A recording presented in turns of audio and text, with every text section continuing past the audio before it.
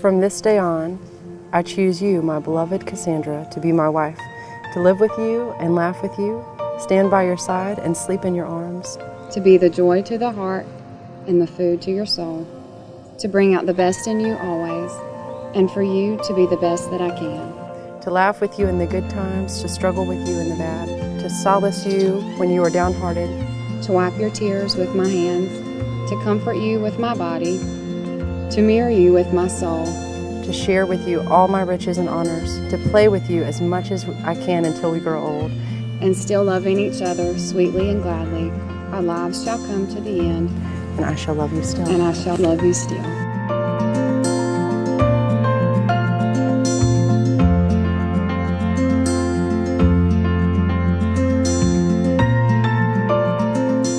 This marriage signifies not only the agreement between Cassandra and Elizabeth that they wish to spend their lives together, but it is also a creation of a new family which includes Danae. It will take a great deal of understanding, You look so pretty. love, and honesty to make this new family work.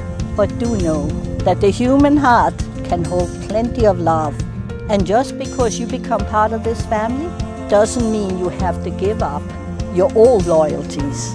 There is plenty of love to go around.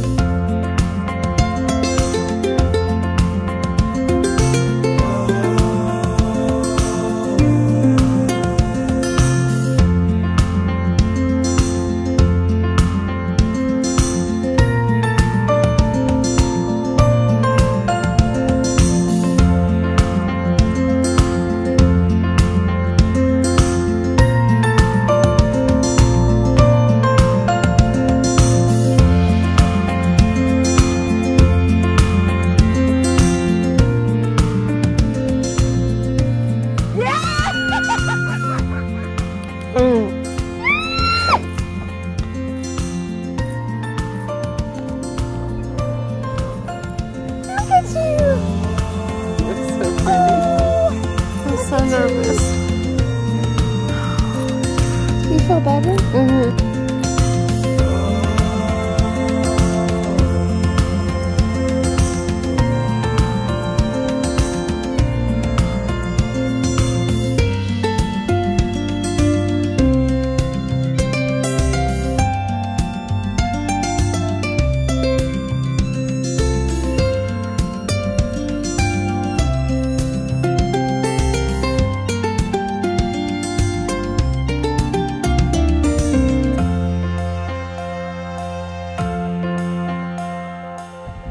Bear witness to the ceremony that makes them wife and wife. May they keep this covenant faithfully, be a blessing and comfort to each other throughout their lives.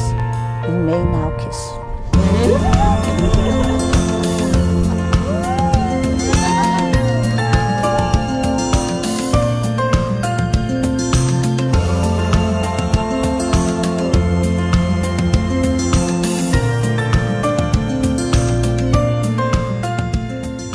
Love is patient.